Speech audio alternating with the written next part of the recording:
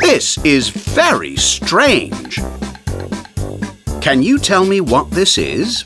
It's lettuce. And what is this? Tomato. It's a tomato. And this? It's a carrot. That's right. It's a carrot. And it's moving. Look, it's an ant.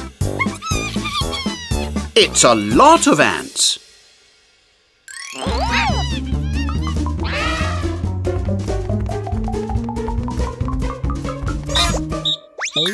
It seems our little friends didn't take your vegetables. They just wanted to make a salad for you. And what a delicious salad it is!